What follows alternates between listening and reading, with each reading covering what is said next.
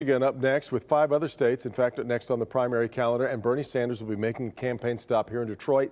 That will be coming up on Friday. He's going to hold a rally at 7 p.m., and that will be at TCF Center, which perhaps you still and we'll always call Cobo. Cobo. It's yeah. hard to make that change.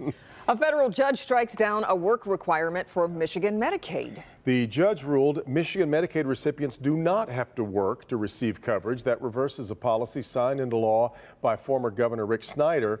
Without the ruling, more than 80,000 Medicaid recipients would have lost coverage on May 31st. But four Michigan residents sued the federal government in November to stop the law from going into effect.